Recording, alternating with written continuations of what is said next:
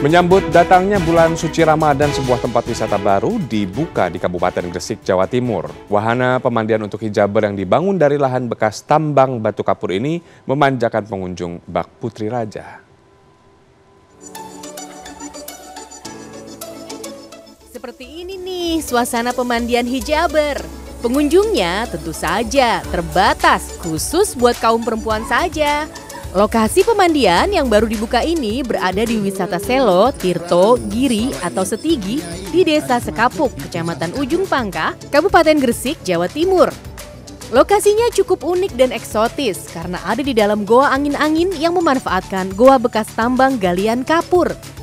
Pemandian hijaber melengkapi wahana lain di kawasan wisata Setigi, seperti kolam banyu gentong, becak air, topeng Nusantara, serta tangga derajat.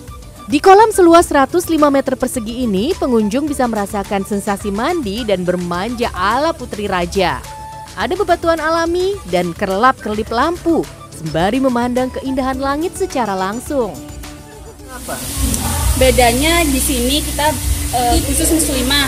Nah, ke sini itu berhijab seperti ini. Ya, disediakan kostum di sini, jadi jangan khawatir. Basic keinginan saya ingin membangun sebuah pemandian khusus untuk mereka yang berhijab, tetapi wisata juga bisa dijadikan media dakwah.